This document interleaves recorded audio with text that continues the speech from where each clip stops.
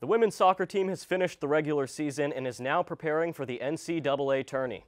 The women of Troy earned a spot as a two seed and will face Eastern Washington in the first round. I'm now joined by Ben Albert to discuss the upcoming tournament. Ben, thank you so much for being here. I appreciate it. Thanks for having me. Let's do this thing. So, the bracket comes out. USC is a two seed. What do you make of the bracket and USC's path?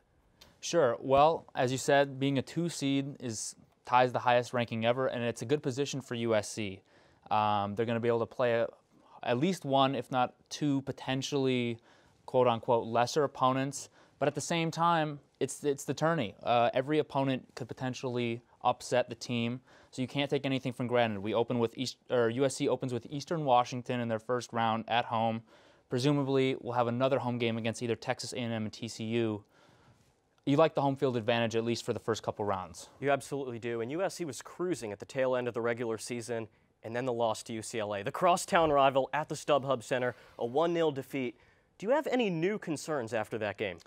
I do. I think the defense once again proved that it's stout and it's one of the best in the country. Uh, Sammy Jo Prudhomme, for instance, goalkeeper of the year award. Mandy Freeman was the Pac-12 Defensive Player of the Year.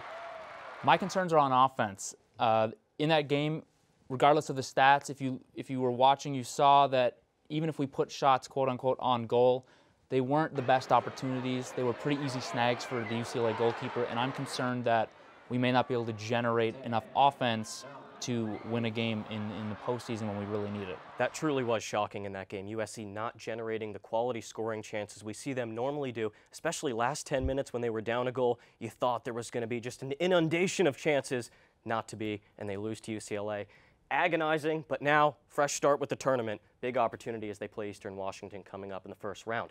My final question for you, Ben. I know we've discussed this on air before. Is this still a national championship team?